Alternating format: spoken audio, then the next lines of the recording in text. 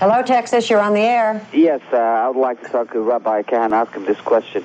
You are talking about the painful Holocaust and the democracy in Israel.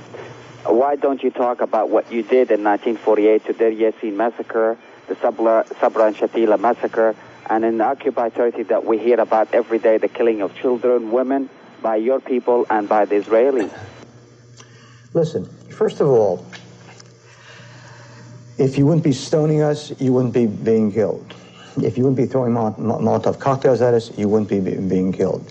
What bothers me is that the news media here is giving you so much coverage. Rami Chaba was an eight-year-old Jewish child whose name wasn't ever mentioned on on the uh, you know news on the news here. His face was beaten so badly by Arabs. He was an eight-year-old child. His face was pounded. There was no face left.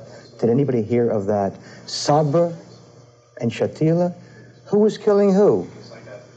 Christian Arabs massacred Muslim Arabs. You want us to live in coexistence between Jews and Arabs? I'm waiting for Arabs to live with Arabs together in, in Lebanon. You can't live with each other, Sunnis and Shiites and Christians and Druze. You kill each each other daily. I don't I don't trust you. I don't believe you.